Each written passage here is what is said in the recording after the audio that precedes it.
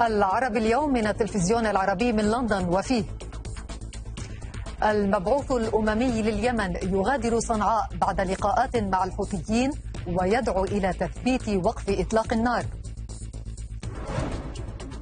اتحاد الشغل التونسي يصعد الإضراب والشاهد يتهم أطرافا سياسية بمواصلة السعي إلى تعطيل عمل الحكومة. البحرينيون يصوتون لانتخاب برلمان جديد في غياب للمعارضة. مظاهرات في فرنسا احتجاجا على رفع الأسعار والشرطة تستخدم القوة لتفريق المتظاهرين. وقبل ذلك موجز للأخبار.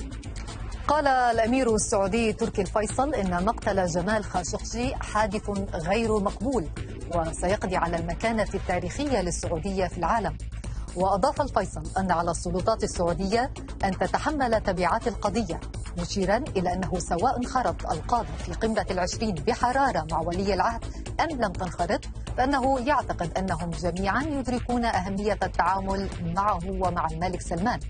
واعترف الأمير السعودي بتقارير الاستياء داخل الأسرة الحاكمة من الصعود السريع لولي العهد إلى السلطة لكنه أكد أنها لا تعكس الدعم الاستثنائي الذي يتمتع به الملك سلمان وولي عهده. شنت طائرات التحالف السعودي الإماراتي غارات جوية عدة على محافظة الحديدة غربي اليمن. وقالت مصادر محلية إن الغارات السعودية الإماراتية استهدفت مواقع متفرقة للحوثيين في مديرية الجراحة جنوبي الحديدة دون ذكر أي تفاصيل عن سقوط قتلى جراء الغارات. وأضافت المصادر أن التحريق لازال مستمرا في أجواء المديرية. من جهة أخرى شن طيران التحالف غارات على مديريات رازح ومواقع أخرى تابعة لمحافظة صعدة شمالي البلاد. قتل خمسة مدنيين بينهم ثلاثة أطفال في قصف مدفعي لقوات النظام استهدف بلدة جلجناز في ريف إدلب الجنوبي الشرقي الواقعة في المنطقة منزوعة السلاح وفق ما أفاد النشطاء وكانت روسيا وتركيا قد توصلتا في أيلول سبتمبر إلى اتفاق على إقامة منطقة منزوعة السلاح في إدلب ومحيطها بعدما لوحت دمشق على مدى أسابيع بشن عملية عسكرية واسعة في المنطقة التي تعد آخر معقل للفصائل المعارضة والجهادية في سوريا. انتقدت تركيا بحدة إقامة الولايات المتحدة نقاط مراقبة شمالي سوريا تهدف إلى منع أي مواجهة بين الجيش التركي ومقاتلين أكراد مدعومين من واشنطن. وقال وزير الدفاع التركي خلوصي أكار في تصريحات بثتها وكالة أنباء الأنادول التركية قال إنه يعتقد أن هذه التدابير ستزيد الأمور تعقيدا. وكان وزير الدفاع الأمريكي جيم ماتيس قد أعلن في وقت سابق أن الجيش الأمريكي سيقيم نقاط مراقبة على الحدود الشمالية لسوريا لتجنب التوتر بين تركيا وأكراد سوريا حلفاء التحالف الدولي. أعلن ما يسمى بتنظيم الدولة مسؤوليته عن تفجير انتحاري وقع يوم أمس في سوق بشمال غربي باكستان حسب وكالة أعماق التابعة للتنظيم. وقالت أعماق إن الهجوم أسفر عن مقتل 57 شخصا نفذه انتحاري في منطقة أوركزي شمالي البلاد. أطلقت السلطات الباكستانية حملة اعتقالات ضد أنصار خادم حسين رضوي زعيم حركة لبيك باكستان الباكستانية. وأعلنت الشرطة توقيف زعيم الحركة وأكثر من 300 من أنصاره في إقليم البنجاب حفاظا على النظام العام. وشهدت مدينة كراتشي مواجهات بين متظاهرين كانوا يحتجون على اعتقال رضوي وقوات الأمن الباكستانية.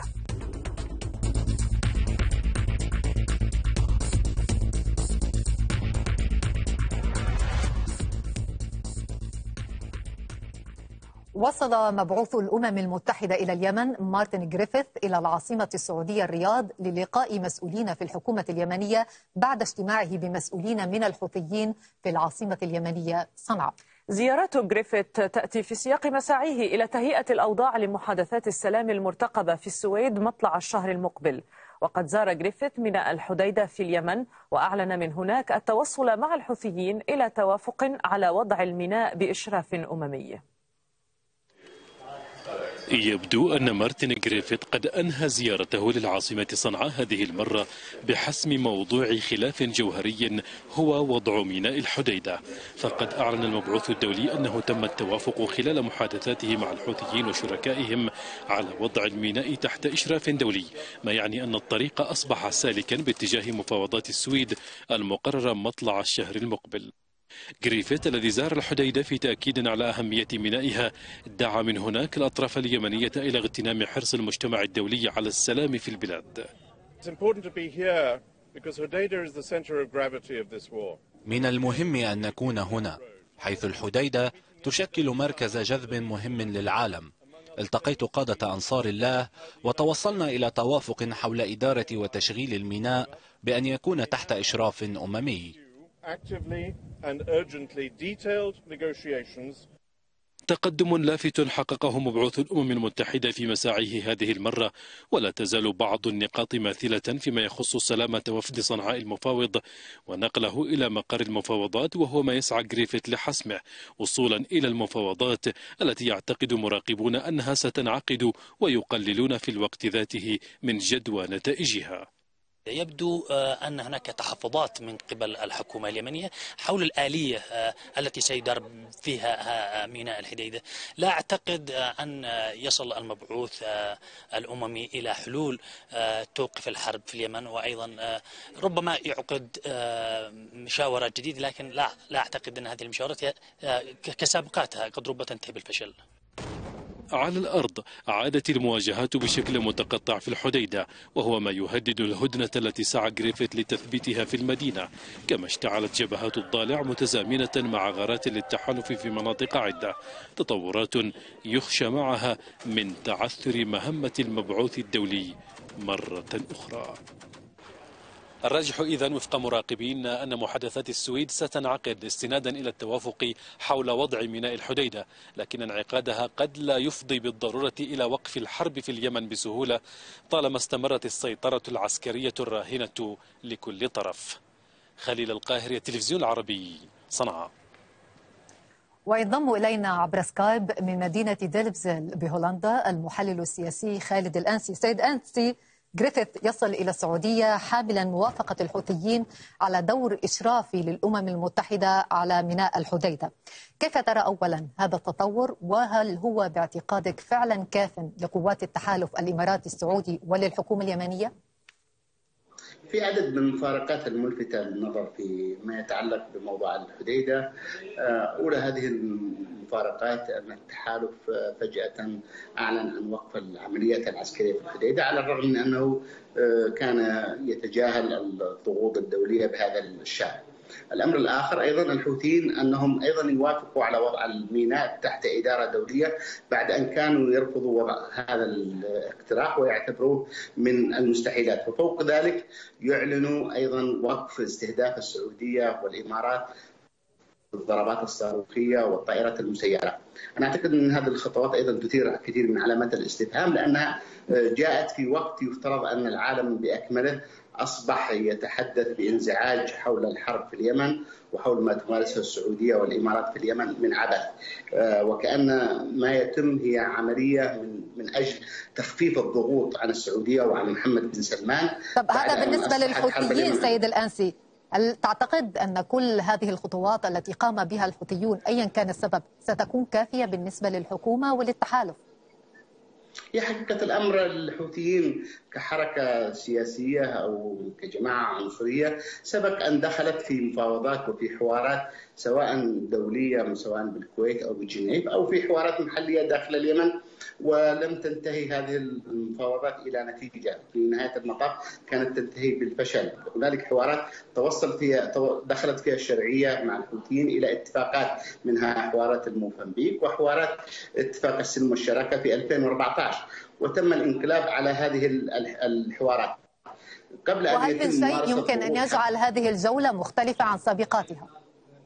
حتى الآن لا يوجد في الأفق أن هنالك ما يجعلها مختلفة عن سابقاتها، ربما أن هنالك كان بعض الضغوط على الحوثيين للقبول بالتهدئة من أجل تخفيف الضغوط على السعودية وحتى لا يسوء وضع محمد بن سلمان كثيرا بسبب قضية خاشقجي وتزامنها مع الحرب.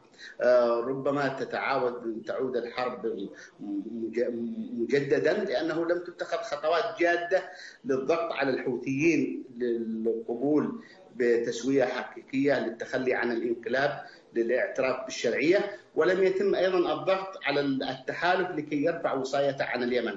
قبل أن يكون هنالك تحرك دولي لنقل قرار الحرب والسلم من يد التحالف من يد السعودية والإمارات إلى يد الشرعية اليمنية وقبل أن يكون هنالك ضغوط حقيقية على الحوثيين بأنه إذا لم يدخلوا في مفاوضات جادة سيتم تصنيفهم كحركة إرهابية يعني يقف ضدها المجتمع الدولي بأكمله، لن تكون هنالك مفاوضات منتجة، حتى الآن كل المفاوضات تأتي في سياق إطارة أمد الحرب وأنه كلما تعالت الأصوات الدولية المنزعجة من الضحايا والمأساة التي تمر بها اليمن تم آه، عمل وقف هدنة مؤقتة آه، حتى يتناسى المجتمع الدولي الحرب في اليمن ثم تعود المواجهات اليمن أصبحت نعم. سوق للصراع الدولي وسوق لتسويق الأسلحة وهذه هي المشكلة طب بغض النظر عن تباين المواقف خلينا نفهم الموضوع بشكله العملي عندما يقال أن هناك إشراف أممي على ميناء الحديدة ما الذي يعنيه ذلك؟ من الذي سيسيطر على الحديدة فعلا على الميناء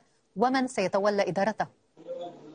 طبعا هذه الخطوة في حد ذاتها تمثل إشكالية وتمثل أيضا حتى فشل للتحالف لأنه الآن يفترض أن الميناء الحديده يعود للشرعية، يفترض أن الصراع في اليمن ما بين ميليشيات إنقلابية ومتمردة وما بين سلطة شرعية، القبول بأن يدخل الطرف الثالث في المعادلة، معنى ذلك هذا إضعاف للشرعية اليمنية التي يقول التحالف أنه يخوض الحرب من أجل الدفاع عنها، وتحويل الحوثيين إلى طرف مقابل للشرعية، هذه تمثل إشكالية بشكل أساسي. آه، بعد ذلك سيثور جدال حول من يتولى إدارة الميناء، حول توزيع الموارد، لا شك أن هذا حتى هذا الاتفاق آه، في هنالك كثير من الألغام والتحديات أمام آه، أمامه أن يرى النور وأنه عبارة عن الآن اتفاق أو اتفاق مبدئي بلا أفق يعني ويتعرض للفشل في أي مرحلة. خالد الأنسي المحلل السياسي من هولندا شكرا جزيلا لك.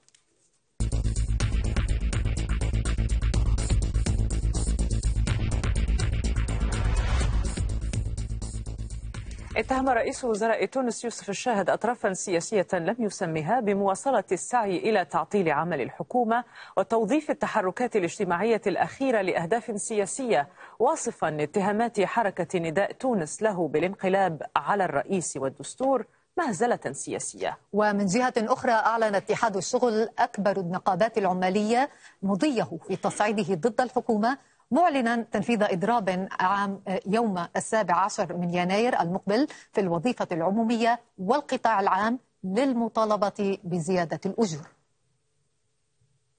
جاءهم إلى البرلمان بسيارة تونسية الصنع في رسالة تواصلية رمزية لدعم المنتوج المحلي. تماما كما فعل تحت قبة البرلمان. كانت رسائله واضحة ومدروسة أيضا إلى خصومه السياسيين والأطراف النقابية على حد سواء. وصف اتهامه بمحاولة الانقلاب على الرئيس من طرف حزبه السابق نداء تونس بالمهزلة السياسية. وقال للاتحاد إنه يريد اتفاقا واقعيا بشأن أزمة الرواتب يراعي التوازنات المالية للدولة. مش باش يأثر فينا كلام البعض اللي يشوفوا في العودة إلى الشرعية الدستورية انقلاب اللي يشوفوا في تصويت نواب الشعب المنتخبين بشكل ديمقراطي انقلاب اللي هما في الحقيقة ما يدافعوا كان على مصالحهم الشخصية الضيقة ويشوفوا في كل خطوة في اتجاه تطبيق الدستور انقلاب وكل خطوة لمحاربة الفساد هي في نظرهم انقلاب. يخوض الشاهد معركة سياسية غير آبه بخصومه وهو يتحصن بحزام حزبي قوي تقوده حركة النهضة. تعلو بعض الأصوات المعارضة هنا محذرة من عودة بن علي بثوب جديد على مهل. رسالة رئيس الحكومة يوسف الشاهد لم تثني اتحاد الشغل عن العدول على خطواته التصعيدية معلنا الدخول في إضراب عام في يناير المقبل. من هنا إلى ذلك الوقت يبقى باب التفاوض مفتوحا. اختارت النقابة العمالية الخميس السابع عشر من يناير المقبل موعدا لشن إضراب في القطاعين العام والحكومي في تصعيد ضد الحكومة. يوم يعيد إلى أذهان التونسيين الخميس الأسود من نفس الشهر عام 1978 عندما قامت السلطات باعتقال مئات العمال بينهم أمين عام الاتحاد أنذاك بسبب الأزمة الاجتماعية.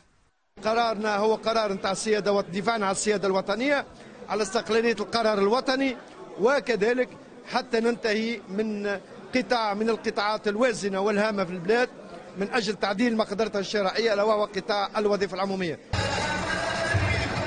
أزمة الحكومة والاتحاد تنذر بشتاء ساخن في ظل تمسك الطرفين بموقفهما لكنها تضع الحكومة بين مطرقة الاحتياجات الاجتماعية المتصاعدة وسندان شروط صندوق النقد الدولي الذي يطالبها بتجميد الزيادات في الرواتب.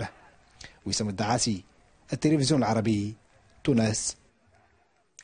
ينضم إلينا من تونس العاصمة عبد اللطيف الحناشي المحلل السياسي. أهلا وسهلا بك سيد عبد اللطيف. حديث عن انقلاب وتكذيب من الشاهد. هل دخلت تونس في أزمة سياسية أعمق من مسألة الأجور والإضرابات؟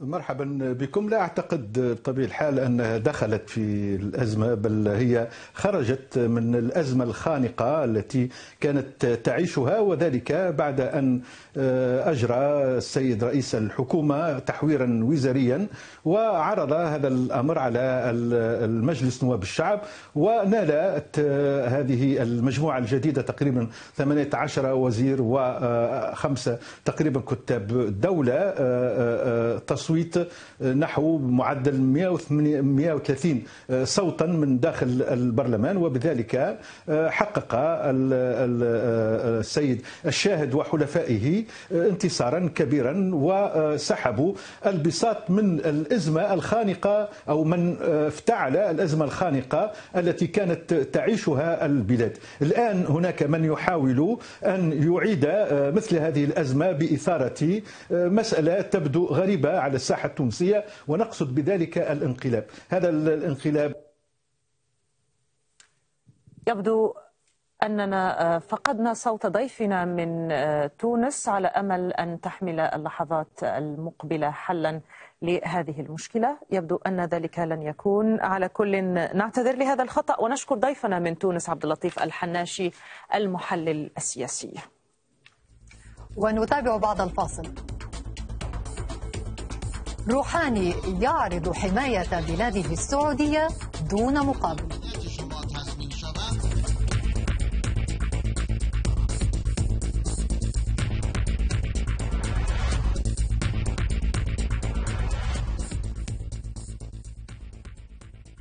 أهلا من جديد أدلى المواطنون البحرينيون بأصواتهم في انتخابات برلمانية وتشريعية في أجواء شهدت غياب جماعات المعارضة مع منع السلطات المعارضين من المشاركة في تلك الانتخابات مقابل دعوة من المعارضة مناصريها إلى المقاطعة. ويبلغ عدد المرشحين في الانتخابات النيابية 293 شخصا يتنافسون على 40 مقعدا.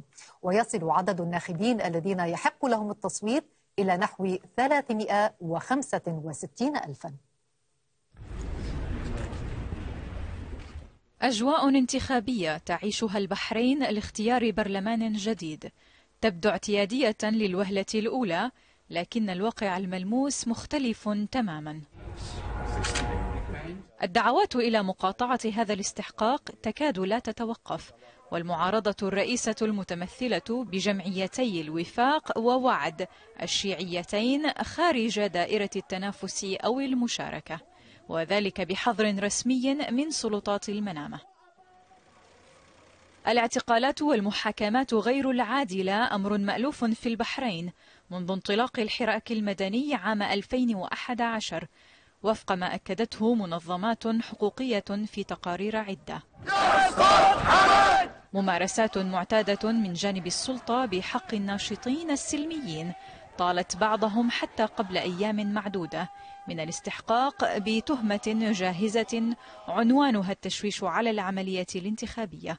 وأحدهم برلماني سابق بات نزيل أحد السجون مع معارضين آخرين.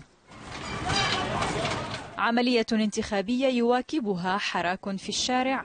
لم تتمكن السلطات من إخماد وهجه طوال سبع سنوات. رغم سياسة الحديد والنار عملية انتخابية ارتابت منها ومن أجوائها منظمة العفو الدولية. قمع المعارضة السياسية يجب أن يتوقف. تقول أمنستي في بيان سبق الانتخابات البحرينية بيومين. وقد دعت المنظمة المنامة إلى وقف ما سمته القمع المستمر والمتصاعد والسماح بدلا من ذلك بحرية التعبير للأصوات المعارضة للنظام الحاكم المتحالف مع الرياض. وينضم إلينا في الاستوديو علي عبد الإمام المعارض البحريني. أهلا وسهلا بك سيد علي. من المفترض أن تكون صناديق الاقتراع قد أقفلت قبل نحو نصف ساعة من الآن. نعم. سؤالنا لماذا قطعتم هذه الانتخابات ولماذا وصفتموها بالمهزلة؟ لأن لا يوجد أي سبب يخلي أي يخلي المعارضة أو الشعب البحريني أن يشارك بانتخابات بحيث أن أنت ما تستطيع أن تشارك في صنع القرار في الدولة أنت غير مسموح لك. أن تشارك أن, أن يكون إليك دور في توزيع الثورة. لا يوجد قضاء عادل. هناك تمييز ضد شريحة كبيرة من المواطنين. هناك حاجة حقيقية لتغيير الأوضاع ولإصلاح في البلد. ما ممكن أن يكون هذا الإصلاح من خلال النظام نفسه. يجب أن يكون هناك تغيير في آلية النظام على أساس أن المعارضة تستطيع أن تمارس دور رقابي وتشريعي حقيقي في البلد. لكن وسائل الإعلام المحلية الرسمية البحرينية قالت أن هناك آه، آه، آه، عدد ناخبين كبير شاركوا في هذه الانتخابات لماذا لم تتم الاستجابة لهذه المقاطعة اذا آه، هذه ادعاءات أجهزة الإعلام الرسمية لكن أيضا هناك ادعاءات من أو مزاعم من قبل المعارضة أنه أن نسبة المشاركة لم تتجاوز 20 إلى 30% تو التصريح قبل فترة بسيطة طلع من خلال عمليات الرصد اللي قامت بها المعارضة.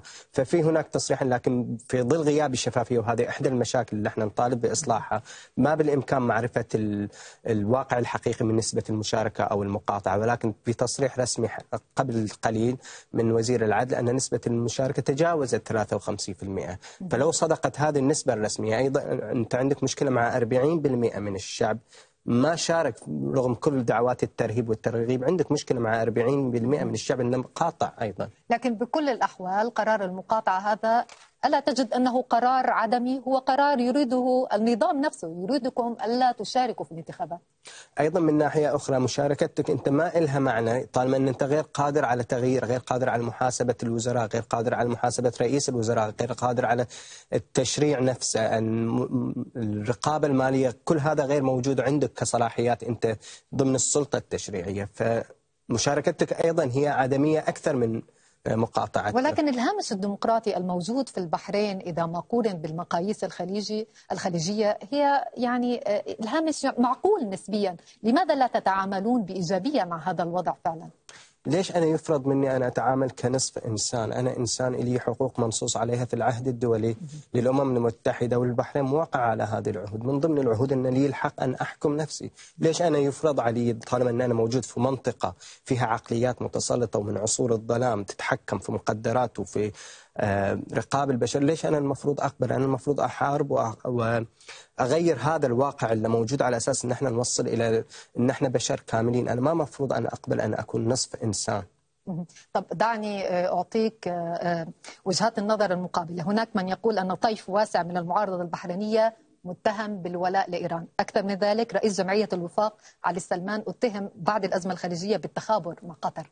ما ردكم على ذلك؟ هذه اسطوانه م- مكررة. البحرين دائما تحاول أن ترمي مشاكلها الداخلية على الإقليم. آه، سابقا كان في قطر كان في مصر كان في العراق بس هي أيضا يرد على النظام نفسه. أن الشيخ علي سلمان إذا كان متهم بالتخابر مع النظام ليش كان ي- يرأس أكبر جمعية سياسية بالبحرين؟ وكانت رموز الحكم نفسها تجلس معه. ال- الاتهام بإيران هو أنا ما أعرف شلون بس إحنا عندنا استيراد إلى قوات أجنبية سعودية دخلت لقمع الشعب عنده مشكلة مع نظام حكمه. هو إحنا عندنا كانت مشكلة مع النظام نطالب باصلاحات حقيقية.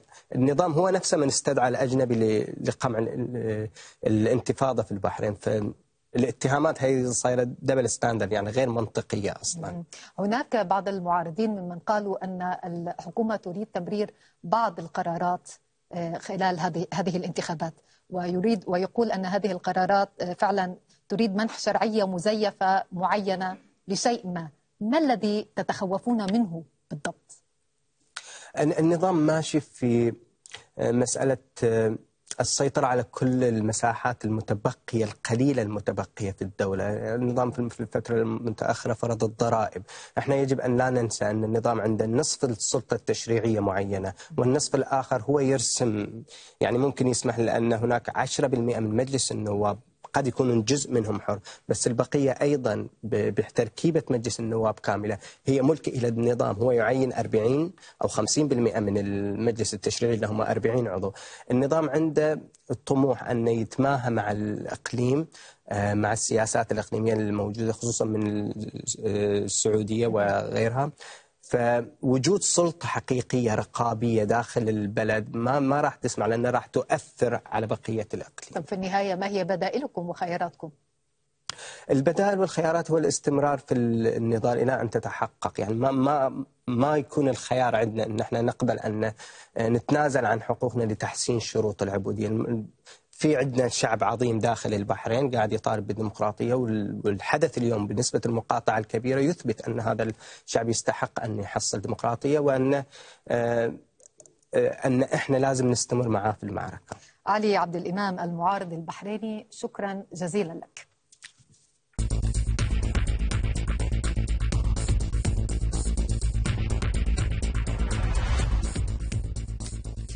وجه الرئيس الإيراني حسن روحاني انتقادات لصفقات السلاح بين الولايات المتحدة والسعودية وصفا إياها بأنها إهانة للرياض على حد تعبيره. وقال روحاني في كلمة ألقاها ضمن افتتاح مؤتمر الوحدة الإسلامية في طهران إن بلاده مستعدة للدفاع عن السعودية دون مقابل.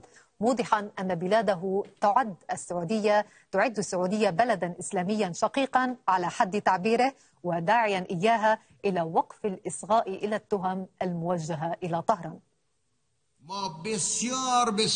مؤلمة جدا الجرائم التي ترتكب باسم الإسلام في المنطقة وأن يقتل الأبرياء بأيدي من يدعون الإسلام وإقامة الدولة الإسلامية. ليت حادثة اسطنبول لم تقع أيضا ولم يتم تقطيع جثة إنسان. هذا الأمر مؤسف لنا كمسلمين. مؤسف أنكم تقصفون الشعب اليمني المظلوم يوميا. ينضم إلينا من طهران مراسلنا حازم كلاس. حازم أهلا بك. طهران إذا مستعدة للدفاع عن السعودية دون مليارات الدولارات. هذا ما أو أبرز ما صرح به روحاني خلال آه، قمة المؤتمر الإسلامي في طهران. هل أعطيتنا مزيدا من التفاصيل عن السياقات التي جاء فيها آه، هذا الخطاب وردود الفعل؟ بطبيعة الحال يعني ليس مستغربا على الرئاسة الإيرانية والقيادة الإيرانية عموما أن تتحدث بهكذا منطق خاصة أن الحديث يأتي ضمن مؤتمر يدعو إلى التقارب بين المذاهب الإسلامية تحت عنوان الوحدة الإسلامية وهو مؤتمر سنوي يعقد في طهران في هذه الفترة من كل عام. هذا السياق جاء ضمن أو كلام روحاني جاء ضمن سياق تحليلي للأوضاع في المنطقة بشكل عام آه، وانتقد فيها آه، يعني اتكاء بعض الدول وبشكل خاص السعودية آه، في توفير أمنها على الخارج. وهذا ما كانت إيران قد كررته سابقا ومرارا من خلال القول أن الأمن لا يشترى وإنما يكون من خلال بناء هذا الأمن من الداخل ومن خلال تشبيك الأمن بين دول المنطقة. وكانت هذه دعوة قد وجهها بطبيعة الحال حال وزير الخارجية الإيراني عدة مرات إلى عدد من دول المنطقة وخاصة آه، الدول الخليجية وبشكل خاص أيضا آه، السعودية آه، إلى تأسيس ربما مجمع للحوار الإقليمي بين دول المنطقة والدول الخليجية بشكل خاص مع إيران بطبيعة الحال ويرى يعني تريد إيران من هذا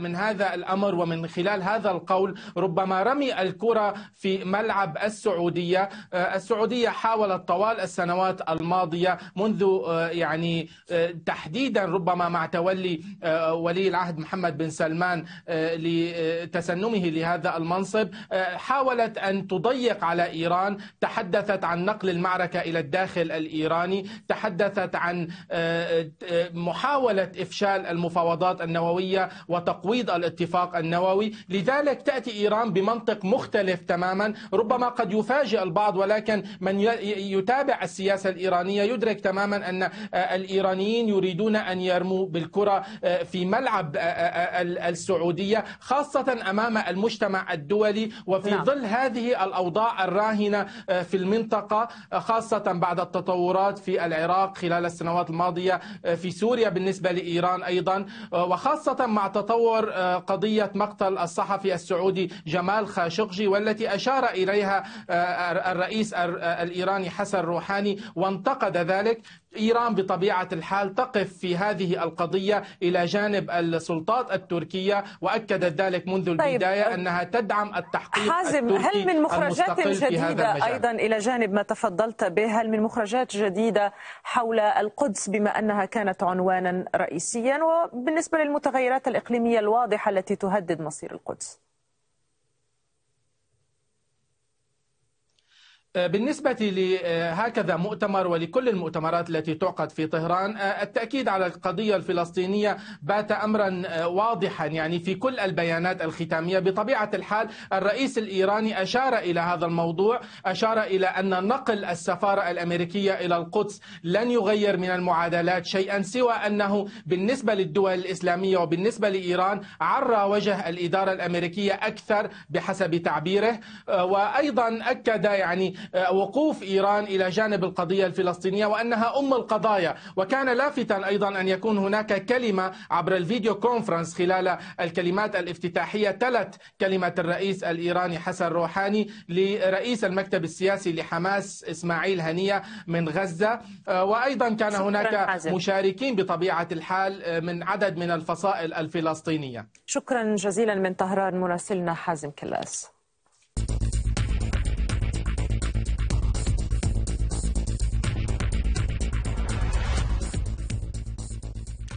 قال السيناتور الديمقراطي جاك ريد العضو في لجنة القوات المسلحة في مجلس الشيوخ الأمريكي إن رواية الرئيس الأمريكي دونالد ترامب بشأن ما ورد في تقرير وكالة الاستخبارات المركزية الأمريكية عن دور ولي العهد السعودي محمد بن سلمان في جريمة قتل جمال خاشقجي كانت كاذبة. وقال ريد إن الرئيس ترامب كذب بخصوص المعلومات التي توصلت إليها وكالة السي آي اي عن جريمة قتل خاشقجي خاصة عندما أنكر أن وكالة الاستخبارات استنتجت أن ابن سلمان هو من أمر بقتل خاشقجي.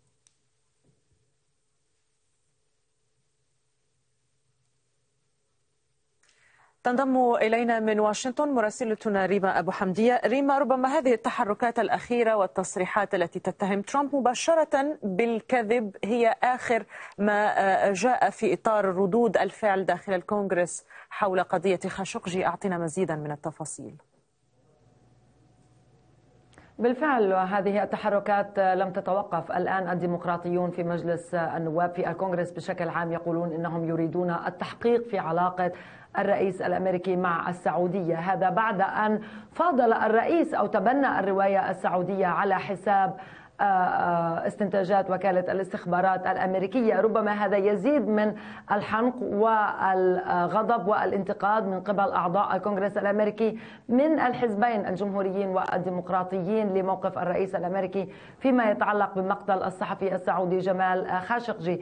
آدم شيف آه، في مجلس النواب الأمريكي يقول مع دخول الكونغرس الجديد دورته الجديدة بداية السنة المقبلة سيكون هناك تحقيق في علاقة الرئيس الأمريكي مع السعودية. لماذا يحمي الرئيس الأمريكي السعودية آه، بهذه الطريقة؟ آه، ليس فقط آه، من آدم شف ولكن آخرون لينزي جراهام وهو من أقرب حلفاء الرئيس الأمريكي مرة أخرى يعود ويقول نعم إنه يريد هذه العلاقة مع السعودية ولكن هذه العلاقة لن تأتي على حساب مبادئ الولايات المتحدة وقواعد الولايات المتحدة. لا يريد حليف كما قال لي الصحفيين آه، آه، لينزي جراهام لا يريد حليف يقوم بتقطيع صحفي داخل منشأة دبلوماسية داخل آه، قنصلية. أيضا آخرون كما ذكرت جاك ريد الذي وصف الرئيس الأمريكي بالكاذب عندما سئل عن استنتاجات أو عن تبني الرئيس الأمريكي لرواية السعودية على حساب وكالة الاستخبارات المركزية الأمريكية. ران بول مرة أخرى يهاجم الرئيس الأمريكي ويهاجم السعودية ويطالب مرة أخرى بوقف آه، بيع الأسلحة للسعودية. كل هذه التحركات حتى هذه اللحظة ما عدا الرسالة التي أرسلت إلى الرئيس الأمريكي لمطالبته بإجراء تحقيقات إعطائه 120 يوما لإنهاء التحقيقات واتخاذ إجراءات واضحة بموجب قانون ماغنيتسكي كل هذه حتى هذه اللحظة هي مجرد تصريحات ولكن الكونغرس الجديد الذي يبدأ في الشهر شهر يناير بداية العام المقبل. يقول أعضاء الكونغرس سيكون هناك تحركات واضحة من قبل أعضاء الكونغرس من الحزبين من الجمهوريين والديمقراطيين على خلفية مقتل خاشقجي ولكن الآن أيضا بسبب دعم الرئيس غير المحدود كما يقولون للسعودية على حساب استنتاجات الأجهزة الاستخباراتية والأمنية في الولايات المتحدة. جزيلا لك ريما أبو حمدية مراسلتنا من واشنطن. نتابع بعد الفاصل. رئيس وزراء إسبانيا يؤكد التوصل إلى اتفاق بشأن جبل طارق.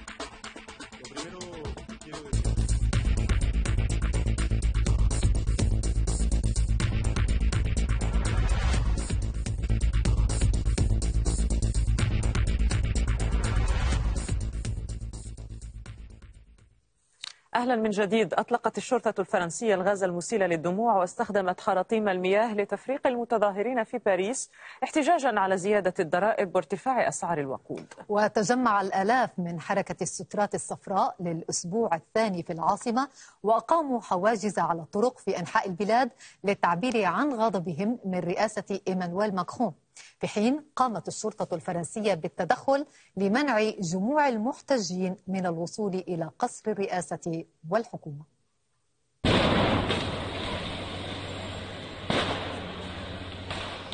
لم تجد الشرطة الفرنسية وسيلة لمنع السترات الصفراء من اقتحام قصر الإليزي سوى خراطيم المياه والقنابل المسيلة للدموع.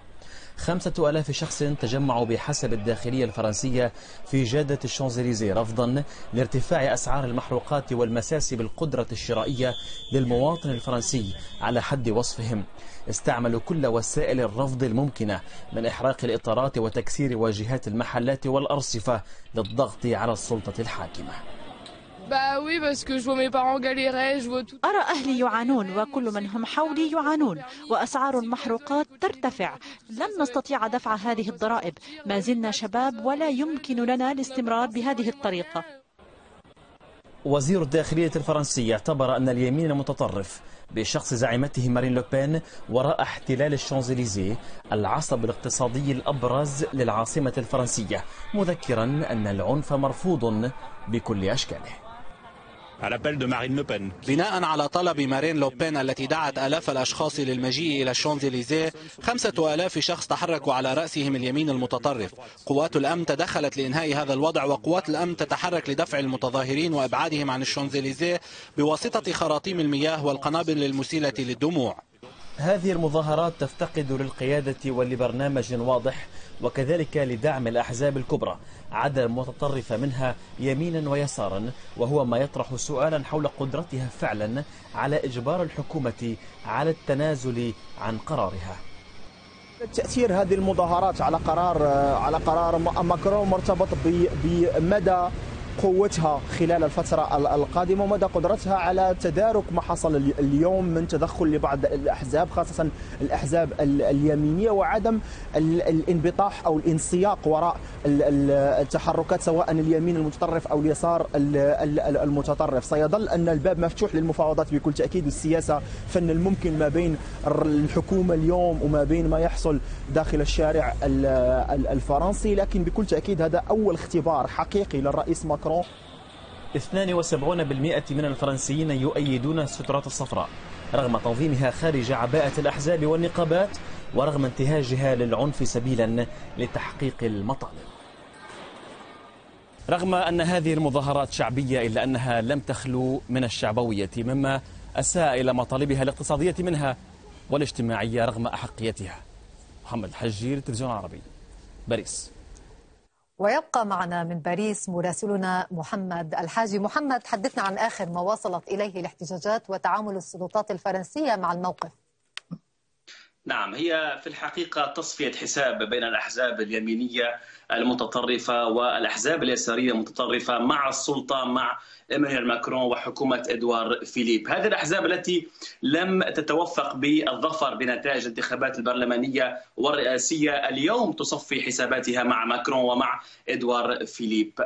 الشانزليزيه وهو عصب المدينة أو العاصمة الاقتصادي تم احتلاله اليوم من قبل السترات الصفراء التي تحظى ب جموع الفرنسيين رغم شعبويتها رغم ما طالبت به أحيانا من مطالب مسيئة للمجتمع الفرنسي وخاصة للاجانب والمسلمين وغيره ورغم غياب القيادة والتنظيم وأيضا غياب النقابات عن يعني أن تسير بهذه المظاهرات نحو تحقيق المطالب. الحكومة الفرنسية بصوت وزير الداخلية الفرنسي اعتبرت بأن اليمين المتطرف اليوم هو من دفع الناس إلى احتلال الشانزليزيه وهو له رمزية كبرى لأن الشرطة حاولت دفعهم من ومنعهم من احتلال القصر يريدون الآن أن يريدون فعلا أن يحتلوا قصر الاليزيه لإجبار ماكرون على الاعتراف بهم ولقائهم. بين ماكرون وبينما ماكرون وزير الداخلية لا يعتبران ابدا بأن هذه هذا الحراك هو حراك محق وإنما هو حراك شعبوي. هدفه فقط زعزعة الأمن في فرنسا وتم توجيه الاتهام فورا إلى المكسرون كما كما يسمون بالفرنسية هنا وهما من اليمين المتطرف الذي دائما يصفي حساباته في كل مظاهرة عن طريق تكسير الأرصفة والشوارع والواجهات. ولم يتضح بعد من يدير الحملة ومن يقودها محمد أما زالت السلطات الفرنسية تفتش عن من تتفاوض معه في هذا الشأن. بالفعل فرح. في الحقيقة هي هذه المظاهرات نشأت عبر وسائل التواصل الاجتماعي على عكس المظاهرات السابقة. فرنسا معروفة بأنها بلد النقابات الأول في العالم. هذه النقابات لم تتدخل في هذه المظاهرات. نشأت بشكل عفوي لبسوا سترات صفراء للدلالة على حالة الطوارئ التي يشعر بها بسبب ارتفاع أسعار الوقود وأيضا بسبب المس بالقدرة الشرائية للمواطن الفرنسي. السلطة الفرنسية لا تجد من تفاوض معه في هذه في هذا الحراك الذي يخلو من القيادة ويخلو أيضا من التنظيم. كل فرنسا مشلوله اليوم ولذلك نحن اليوم نتحدث معكم عبر سكايب. تعذر علينا حتى الوصول إلى مكتبنا ل أو إجراء مقابلات مع هؤلاء. لأنه منذ الصباح الباكر والطرقات كلها مغلقة وحتى نعم. سريعه وأيضا وسائل النقل مخفله بوجه كل المارة والسياح وغيرهم. نعم. بكل الأحوال شكرا جزيلا لك محمد الحاجي من باريس.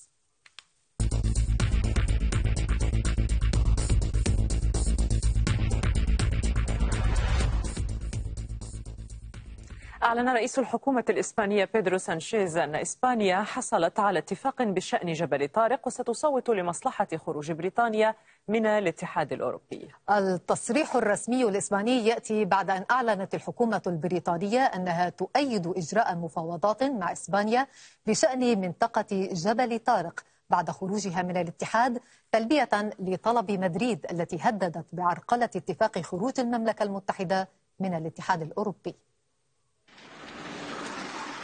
أربعة أشهر تلك التي تفصل بريطانيا عن الخروج من الاتحاد الأوروبي. ولا تزال العصي توقف عجلة التقدم التي تحث الخطى نحو توقيع اتفاق نهائي للخروج.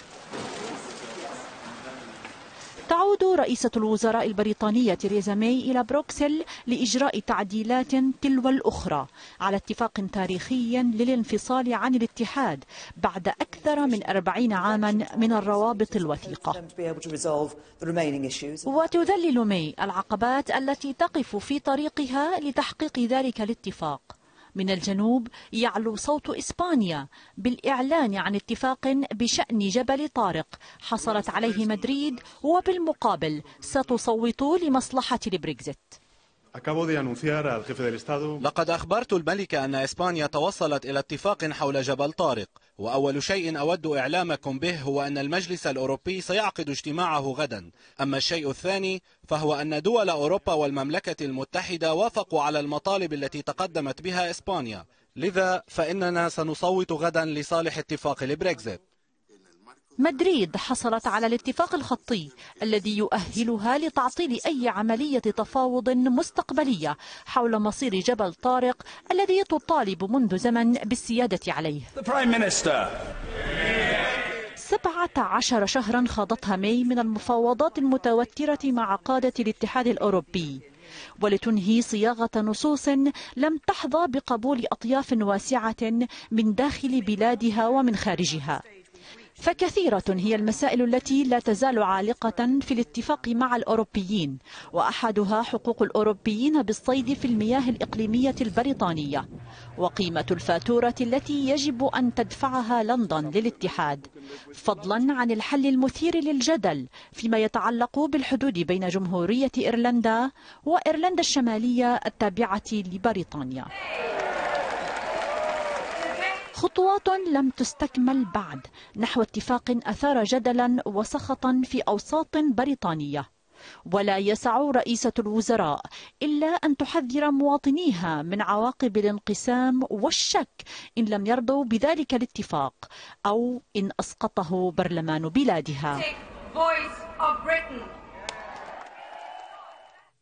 ينضم إلينا من بروكسل مراسلنا لبيب فهمي. لبيب إذا بيدرو رئيس حكومة إسبانيا حصل على اتفاق بشأن جبل طارق ما دون ذلك من تفاصيل يمكن إضافتها إلى مشوار بريكسيت نعم هو نوع من التصريح بشيء حصل عليه كان قد حصل عليه من قبل. عندما أعلن يعني الاتفاق حول البريكزيت وحول الإعلان السياسي في صيغته الأولى كانت لندن قد أكدت لإسبانيا بأنها ستشركها في في كل ما يتعلق بمستقبل جبل طارق بعد البريكزيت. لكن إسبانيا كانت تريد أن يكون ذلك خطيا. ليس هناك تأكيد حتى الآن أن ذلك سيكون خطيا في الإعلان السياسي ولكن ربما كملحق لهذا الإعلان السياسي ملحق مجبر لبريطانيا بريطانيا ولاسبانيا وتكون ويكون الاتحاد الأوروبي شاهدا عليه. وبالتالي فمدريد حاولت أن أن تلعب لعبة هي لعبة سياسية داخلية بين اليمين واليسار وبين رئيس الحكومة بيدرو سانشيز الذي حاول الضغط لتأكيد دوليا على أن له موقف وأنه يستطيع الحصول على بعض المسائل للدولة الإسبانية. لكن الأهم من هذا كله هو أن تم الاتفاق على كل النقاط تقريبا. واليوم تيريزا ماي جاءت إلى بروكسل للالتقاء للقاء برئيس الحكومة رئيس المفوض المفوضية الأوروبية جون كلود جونكر للحصول من من جانبها على دعم سياسي. ما تريد اليوم الحصول عليه ما هو دعم سياسي يوم غد بأن تقول أوروبا بأن ستكون هناك علاقات بين بريطانيا والاتحاد الأوروبي وستظل هذه العلاقات لأنها علاقات متينة وعلاقات صداقة ستظل ستظل هذه العلاقات سواء تجارية أو سياسية أو أمنية. إذا هناك الكل يبدو أن الكل رابح في هذه القضية. كعادة كل المسائل الأوروبية يكون فيها الرابحون كل الدول مدريد ربحت لندن ربحت والاتحاد الأوروبي ربما سيخرج يوم غد من أزمة كانت آه، تشكل له بعض العقدة عقدة البناء الأوروبي.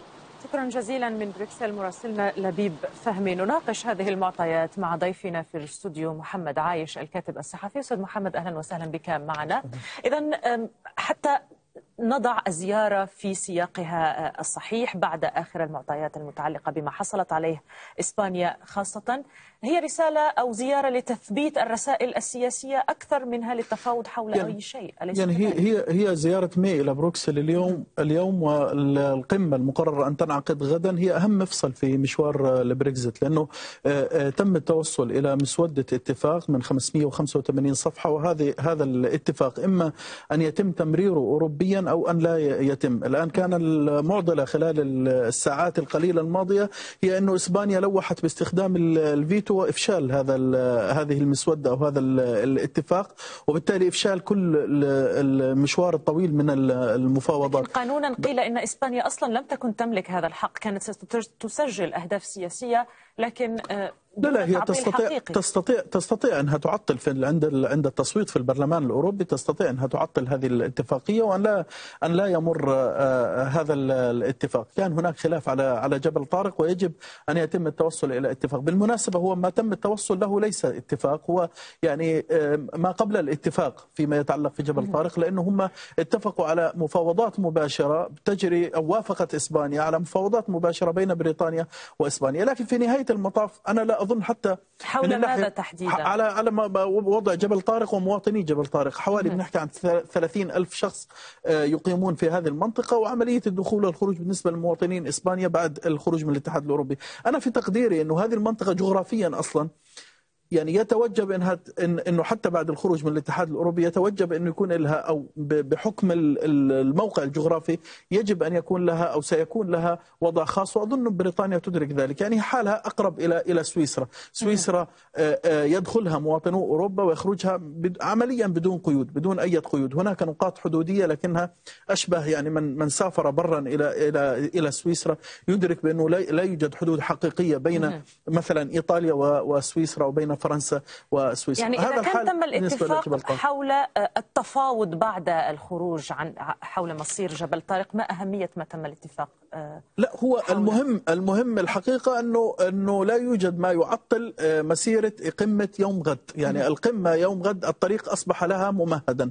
هذا أهم ما في الأمر والمسألة الثانية أنه أغلب الظن أنه كل بنود المسودة من 585 صفحة أغلب الظن أنه ليس فيها مشاكل يعني وإن كان هناك مشاكل ربما يتم تسويتها خلال لقاء القمة يوم غد وبالتالي إحنا بنتكلم عن اتفاق أصبح قاب قوسين أو أو أدنى سواء رغب به يعني على علاته وعلى إيجابياته. يعني حققت بريطانيا بعض التقدم أو شروط أفضل من السابق بعض الشروط مثل فاتورة الطلاق أو ما يسمى فاتورة الطلاق المبلغ الذي ستدفعه بريطانيا.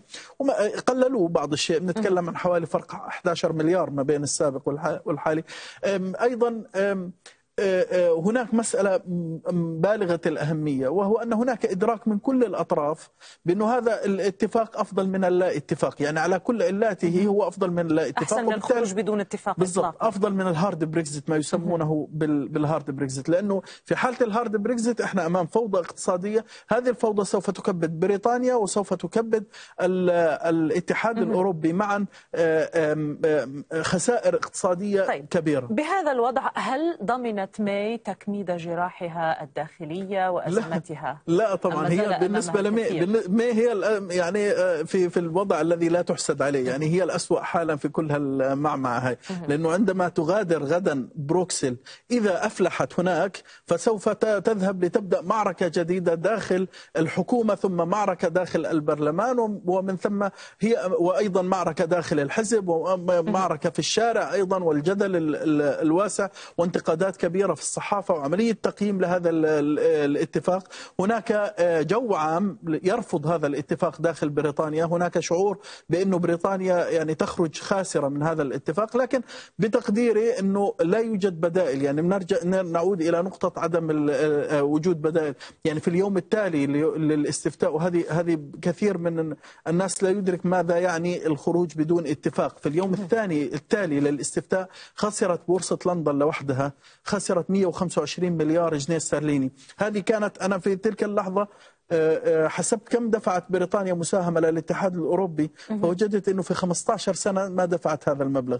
إذا بورصة نعم جدا. تبخرت من أموال البورصة أو من من القيمة السوقية للشركات المدرجة في فوتسي تبخرت أكثر مما دفعت بريطانيا في 15 سنة. ماذا ننتظر غدا وبعد غد على المستوى الداخلي أظ... لبريطانيا؟ أظن بأن أوروبا أوروبا راضية بهذا الاتفاق وأظن بأنه بعد التغلب على مشكلة إسبانيا إسبانيا وإيرلندا والمشكلة المائية ليست مشكلة كبيرة. أظن بعد ذلك المسألة ممهدة. يظل يظل المشكلة داخل بريطانيا وأظن بأنها ستمر. شكرا جزيلا لك الكاتب الصحفي محمد عايش.